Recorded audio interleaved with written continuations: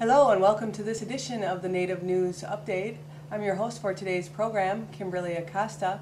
Many of the stories viewed here can be found at our websites, IndianCountryNews.com or IndianCountryTV.com. Here is the news for the day from the Associated Press and other Native news sources. Salish member Pat Matt caught his break when Quickstar Productions found his band site, Cross Tribe, while skimming the pages of MySpace. The recording label heard the song Said and Done, written by Matt, and chose it for their upcoming CD called Unified Grace, which is scheduled to be released in Walmart stores across the nation this month. 16 artists across the United States were chosen and featured on the CD. Half the proceeds from the CD will go to the Nyambaber Clinic in West Uganda. The clinic is partnered with St. Timothy's Church Diocese of West Ankole in southwestern Uganda. One of the biggest challenges of the clinic faces is malaria, and their vital task is to keep clinics stocked with anti-malarial medications and mosquito nets. The song Said and Done can be heard at myspace.com forward slash N8VX. Anthony Lee, a 15-year-old from Hessel, Michigan, is urgently in need of a bone marrow transplant, but his major obstacle is a suitable donor. A suitable donor needs to have an ancestry similar to Lee, which would be a mix of American Indian, Korean, German, and Swede. Doctors diagnosed aplastic anemia in Lee about two and a half years ago. According to the Mayo Clinic, aplastic anemia is a condition where one's body stops producing enough new blood cells to replenish dying cells. Lee's unique ancestry is a key challenge in this situation. The National Marrow Donor Program said there's a dire need for both Asians and American Indians to register as potential donors to fill a shortage of readily available prospects. To join, to join the Marrow Registry and to become a donor, you can contact the National Marrow Donor Program at 1-800-471-3020. On June 8th, Hopi Veteran Services honored Private First Class Travis Yaiva, the last surviving Hopi Code Talker. Yaiva was presented a shadow box with the military medals and ribbons he earned during World War II, a picture of him that was taken during the war, and other mementos to highlight his military service.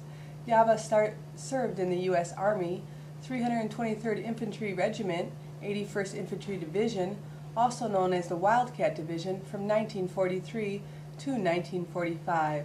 The medals he earned were, that, that are encased in the shadow box include the World War II Victory Medal, American Campaign Medal, the Asiatic Pacific Campaign Medal, Good Conduct Medal, Philippine Liberation Ribbon, and a Combat Infantry Badge. Bob Gauthier, former director of the Salish Kootenai Housing Authority, was recently presented with a national award at the annual National American Indian Housing Council convention held in New Orleans.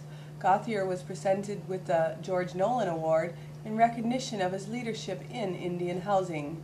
Gauthier helped shepherd many historical changes in the philosophy and management approach of Indian housing on Indian reservations. One of the biggest things he helped accomplish was the removal of Indian housing programs from HUD management strings.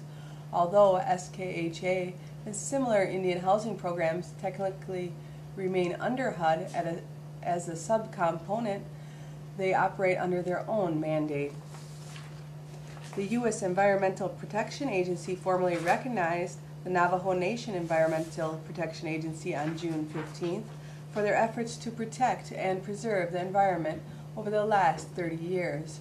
The Navajo Nation continues to build and implement its programs, has enacted seven of its own environmental laws, and set a national precedent for tribal sovereignty and environmental protection.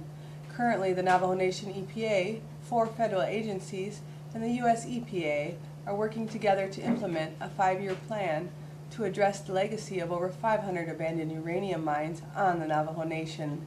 Also, the Navajo Nation EPA, the National Navajo Department of Water Resources, U.S. EPA, and the Indian Health Service are working together to provide safe drinking water to 3,000 people and wastewater infrastructure to 2,500 homes. For more information on the Navajo Nation environmental projects, you can visit their website at navajonationsepa.org. Navajo code talker Matthew Martin of Crown Point, New Mexico passed away on June 22nd. He is the fourth Navajo code talker to pass away within five weeks. Martin was born on May 3, 1925, at Star Lake, New Mexico. He enlisted in the U.S. Marine Corps on October 12, 1943, and was qualified as a marksman and a code talker and attained the rank of corporal. He saw combat at Iwo Jima and the Volcano Islands from February to March of 1945, and during the occupation of Japan from September 1945 to April of 1946. He was honorably discharged from the First Separation Company, MGB USMC, on May 13, 1946. His awards include the Good Conduct, Good Conduct Medal and the Navajo Nation Code Talker Congressional Silver Medal. His service and outstanding contributions were recognized by Arizona Governor Jane Hull and by the 45th Arizona State Legislature in 2002. And that is the latest roundup of news from Indian Country on this edition of the Native News Update. We'd like to thank our underwriters for helping us with this broadcast and look forward to seeing you again. Thank you and have a grand day.